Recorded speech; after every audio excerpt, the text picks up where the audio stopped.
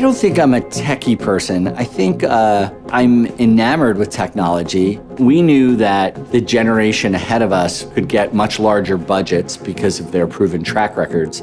And we knew that by heavily investing in, in technology, it would allow us to jump ahead and have opportunities to do projects that other people in our generation didn't. That's how I found out about Unity.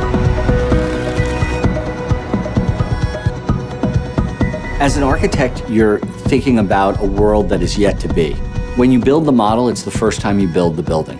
The same place you can't get two sticks to go together and you're holding it with glue and trying to get it to stand, that's the same place the contractor has a problem in the field. So you begin to learn about the building just by going through the process of building the model. By being able to build it fully digitally, it eliminates so many of the problems that then happen after because you find the problems when it's light and cheap and fast, not when it's heavy and glued and nailed and together and really expensive to take apart.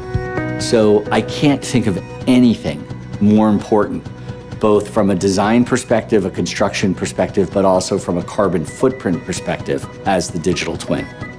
Five years ago, we relied on traditional renderings and sketches to work through design challenges. Having the right visualization tools is critical. Only when you're truly able to understand a space that doesn't even exist yet are you able to make an informed decision as an end user and commit to the significant personal investment. We're developing something that we are calling the Shop Portal Immersive Suite. The premise behind the suite is to give our internal teams, our clients, stakeholders, consultants a hub in which they are going to be able to and are already able to view all of the information for their project that they need.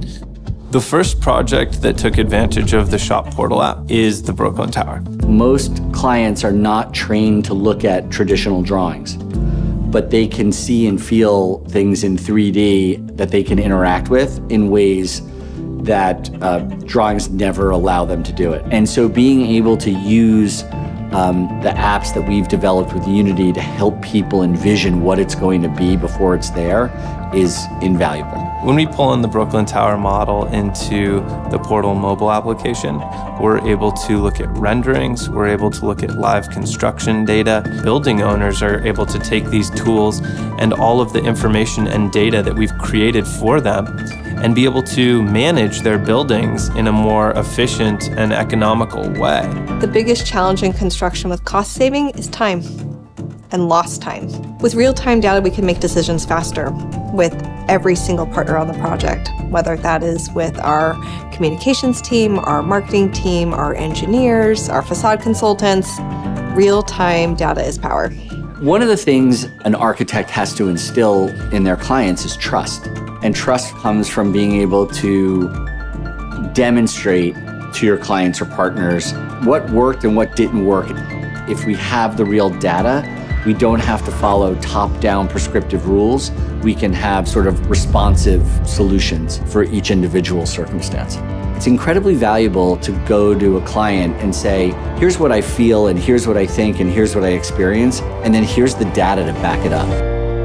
That's a pretty powerful argument.